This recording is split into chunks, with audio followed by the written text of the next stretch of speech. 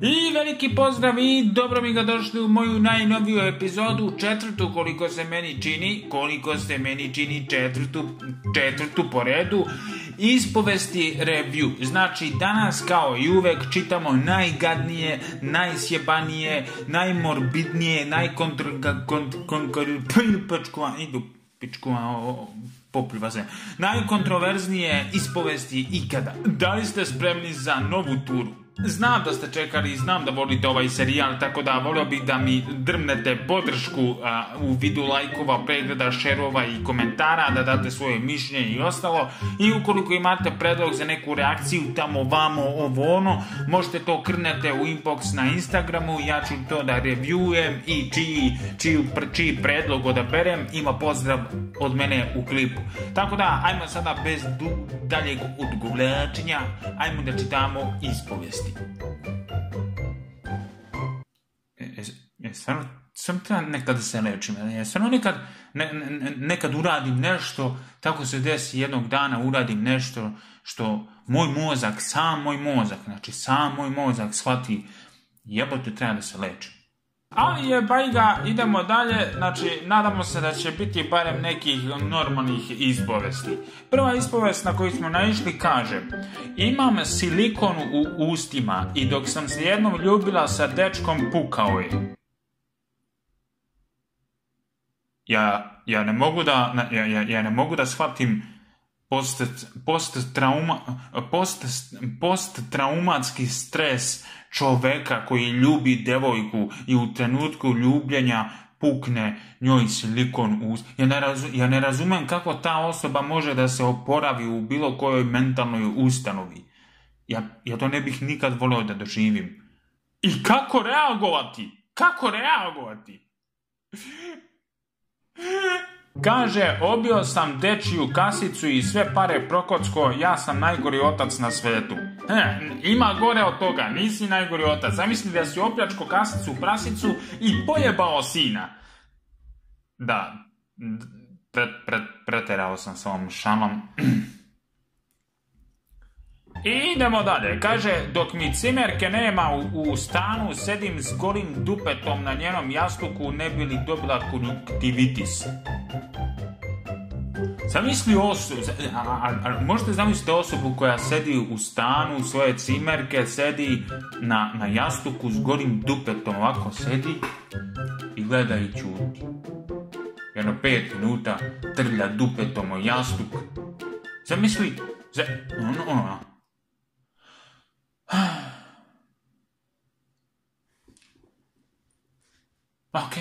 Mislim, možete li da zamislite mentalni sklop te osobe koja, ja, ja, ja, ne, ja ne znam, iz tog razloga ja nikad fakultet završio nisam i nikad ne bi bio u domu uh, zato što, brate, dođeš tamo neki tamo, otku znam, brate, neki silovatelj, neki, brate, drka na neke čarape moje, brate, otku znam kakvi budala sve ima, proveo sam 3-4 nedelje na ovom sajtu, ništa me više ne iznenađuje, ništa me više ne iznenađuje, a plus sam ja jedan od tih manijaka seksualnih, pa ne bi da me hapste.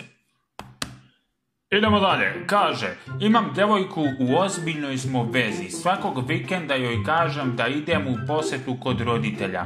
To je lepo, to je, to je vino, baš onako. Pokazuje devojci, pokazuje devojci, ono, i naglašava da ide kod roditelja. Znači, poštuje svoje roditelje. Kaže, da nastavimo.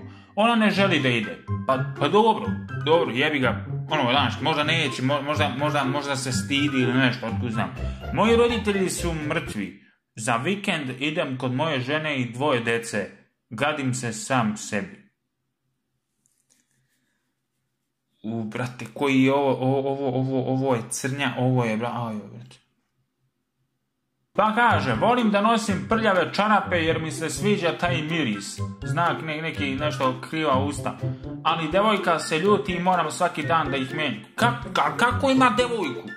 Kako, kako ima devojku? Nije, nije mi jasno kako ima devojku.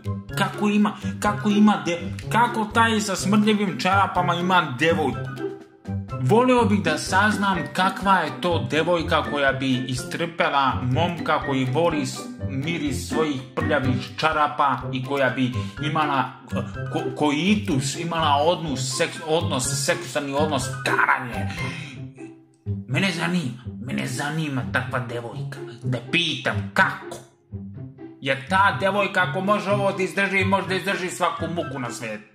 Idemo dalje, kaže, uvijek mi treba vremena da skontam šta je levo, a šta desno, šta je istok, a šta zapad, i šta je guraj, a šta vuci. Prijatelju, meni kad neko kaže, kad pitam za pravac, on kaže ideš tamo južno, ja pojma nemam gdje je južno. I uvijek, prijatelju, tamo gdje treba da guram, ja ga vučem. Znači, mislim, ono, kao ona vrata, znaš, ono, kad piše gura, ja ga vučem. I to. Kaže, pre par godina sam imao a, seks na skuteru sa mojom šeficom. Uje. Kaže, na sred Tivatskog zaliva. Ujebote, egzotično. Najboljih četiri meseca radnog leta ikada. U prijatelju moja ja bi volio da imam skuter, a kamo li seks. Kaže, u posljednje vreme kad se vratim umorna sa posla, gledam na netu one španske serije koje su nekada bile popularne kod nas. Eh, šta bih dala da se vrate ta vremena. Od kako su ove turske postale popularne, malte ne ni ne palim TV. Ja sam pre volio kao mali, ja sam volio kao mali, gledam onu, one, on, onu seriju špansku između ljubavi i mržnje. Ako neko zna moje godište, stariji također, e, bila je serija između ljubavi i mržnje. I tu se radilo o nekoj kučki koja je bila bolesna, brati, koja je na kraju od te bolesti i tog stresa da razdvoji neke dve kučke, neku kučku tamo s nekim moronom i ta lud, neka ludača, brate, počela gubi kosu, brate, na kraju serije počela gubi kosu, na. I svih 300 nešto epizoda, ja sam gledao, imao 10-12 godina, ne, po, 10, tako nešto godina, ja sam svako večer gledao između ljubavi i mržnje. To je bila super serija, ne znaš ko koga kara, brate, ovo izađe s karabinom, nabije ovu, ovaj, ovu kara, brate, ne znaš čije je dete, ko je otac, ko je otac deteta, ko je otac matere, znači ništa ne znaš, prijatelji, a sve se posle sazna. I ono, ostaneš u šoku. A ove, brate, ove turske serije, 3 sata gledaš kako ovaj bulji dok kipi kafa u pičku ma. I nema nigde karanja, brate. Ove indijske, turske, nema nigde karanja, nema nigde sisjeća, nema nigde ubistva, brate. Ubistva nigde nema. Ubije se tako što skoči kroz, ne, ne pojma, kroz stepenice, i to tri stepenice. U španskim serijama barem naprave 5, 6, 10, 15 stepenica, to se rola malo duže, brate. Imaš neki kadar. O, ti stepenice, brate, male stepenice, umre.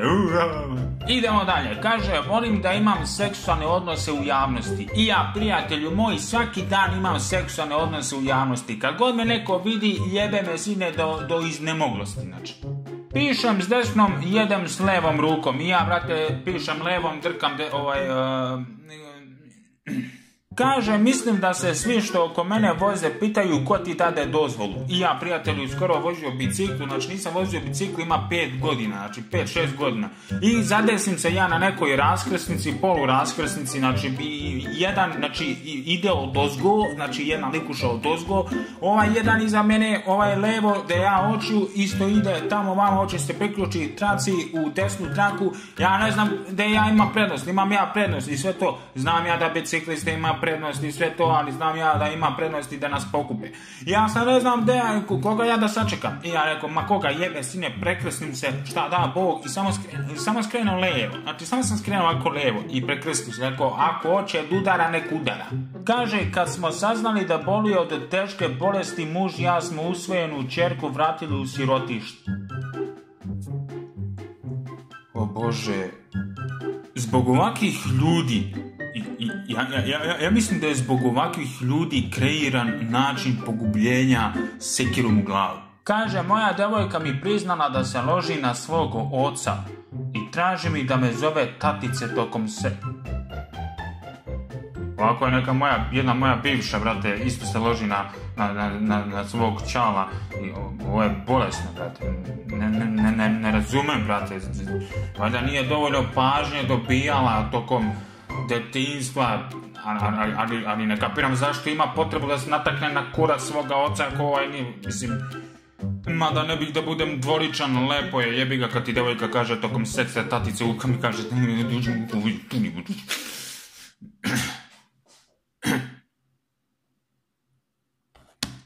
Napravio sam devojci 101 ružu od papirnih maramica. Ona je na to rekla previše je detinjasto. Ja bih rekao da ti malo ja previše jebe ma... Kaže batica, sramota me da novu devojku dovedem kod mene u kuću jer mi kuća nema fasadu, a sve okolne kuće imaju. U, brate, jaka mude, ja doveo jednom devojku sine jebem u svojoj sobi. U tom trenutku spao onaj marter sa, sa zida. Mene pole kurac, brate, jebem, jebem i se takva mi je kuća, kakva mi je, ako hoće to da prihvati ako je to smeta, mršu kurac, ako ne smeta, brate, jebi, jer ti smeta. Brate, daj pare, ja ću sredim sobu, brate. Jesi ti došla da se jebeš ili da gledaš moju fasadu koji kurac? I to je to sve za danas. Nadam se da ste uživali u ovoj četvrtoj jubilarnoj epizodi, a potrudio sam se koliko sam mogao da ne povratim na nekim ispovestima. Nadam se da uživate u ovom serijalu. Ukoliko uživate, ukoliko želite da nastavim s ovim serijalom, roknite like, roknite share, roknite